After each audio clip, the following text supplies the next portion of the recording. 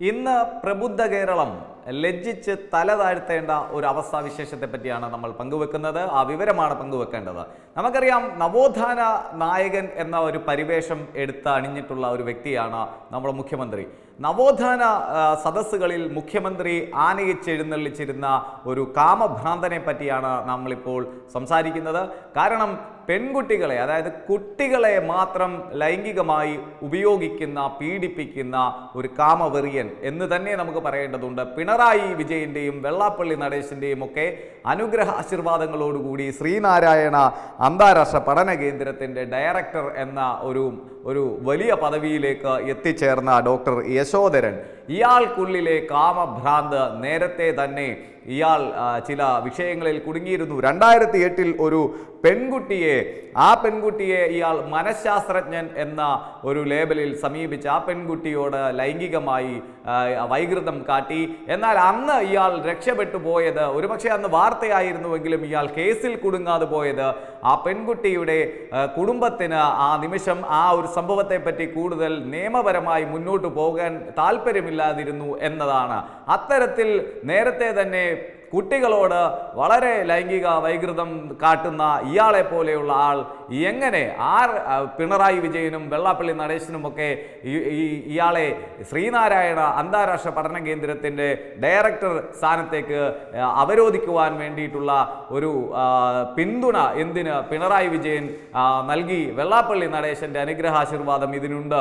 ഇവരൊക്കെ തന്നെ ഇതിന് മാപ്പ് പറയണം. കാരണം നമുക്കറിയാം സംസ്ഥാന സർക്കാരിന്റെ പിണറായി സ്പോൺസേഡ് ആയിട്ടുള്ള നവോത്ഥാന സദസ്സുകളിലെ ഒരു വലിയ മുഖമായിരുന്നു ഈ യശോധരൻ.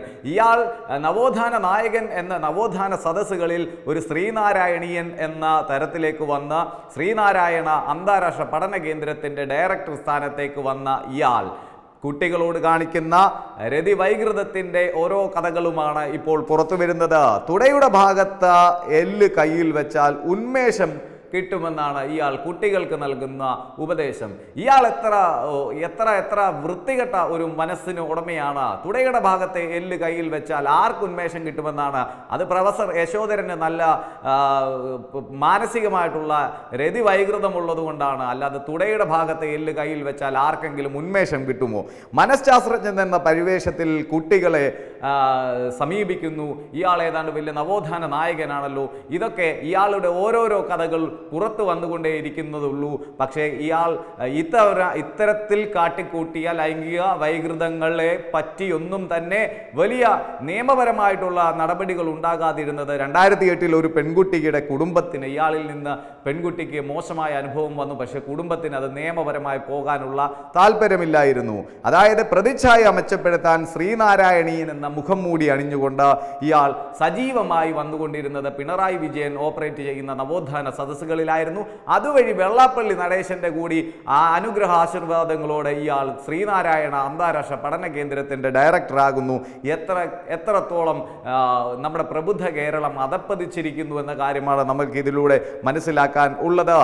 ഇയാൾ ഇപ്പോൾ അറസ്റ്റിലാകുമ്പോൾ ശ്രീനാരായണ അന്താരാഷ്ട്ര പഠന കേന്ദ്രം ഡയറക്ടറാക്കിയ സർക്കാർ നടപടി കൂടിയാണ് ഇപ്പോൾ വിവാദത്തിലായിരിക്കുന്നത്.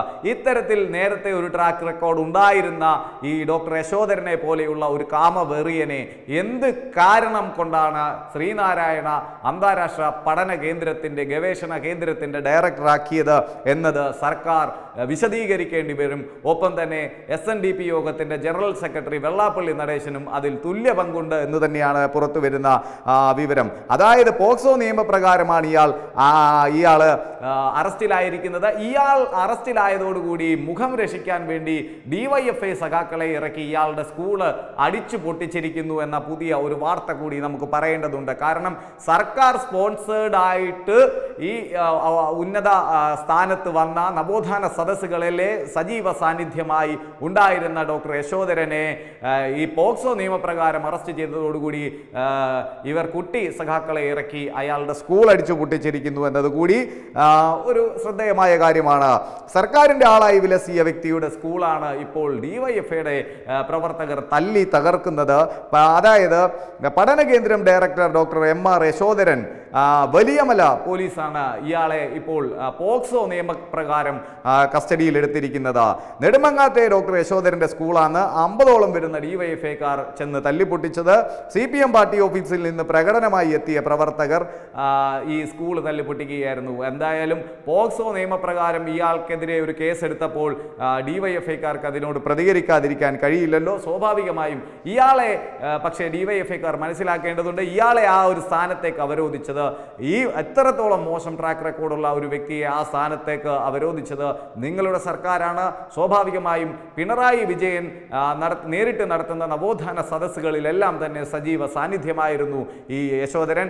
അതേപോലെ തന്നെ നമ്മൾ മനസ്സിലാക്കേണ്ടതുണ്ട് ഇയാളുടെ പൊയ്മുഖം നേരത്തെ തന്നെ അനാവൃതമായിരുന്നിട്ട് പോലും എന്തുകൊണ്ട് പിണറായി വിജയൻ അദ്ദേഹത്തിന്റെ ഒരു വലിയ താല്പര്യപ്രകാരം ഇദ്ദേഹത്തെ ആ ഒരു കീ പൊസിഷനിലേക്ക് എത്തിച്ചു. വെള്ളാപ്പള്ളി നടേശനും ഇയാൾ ഈ ഒരു സ്ഥാനത്തേക്ക് എത്തുന്നതിൽ വലിയ താല്പര്യമുണ്ടായിരുന്നു എന്ന് പറയുമ്പോൾ സ്വാഭാവികമായും സർക്കാരും എസ് എൻ ഡി പി യോഗവും ഒക്കെ ഇതിന് മറുപടി പറയേണ്ടതുണ്ട്. കാരണം ഗുരുദേവനെ പോലെയുള്ള ഒരു വലിയ സാമൂഹ്യ പരിഷ്കർത്താവിന്റെ പേരിലുള്ള ഒരു അന്താരാഷ്ട്ര പഠന ഗവേഷണ കേന്ദ്രത്തിന്റെ ഡയറക്ടർ സ്ഥാനത്തേക്ക് എന്തുകൊണ്ട് ഈ കാമവെറിയൻ നിയമിതനായി എന്ന കാര്യത്തിൽ ഇനിയുള്ള ദിവസങ്ങളിൽ വരും മണിക്കൂറുകളിൽ തന്നെ സംസ്ഥാന സർക്കാരാണ് വിശദീകരണം തരുന്നത് ആ സമുദായവുമായി ബന്ധപ്പെട്ട് നിൽക്കുന്ന ആളുകളാണ് ഇതിന് വിശദീകരണം തരേണ്ടത്. പക്ഷേ എന്തായാലും ഒരു കാര്യം നമുക്ക് പറഞ്ഞു വെച്ചേ കഴിയൂ.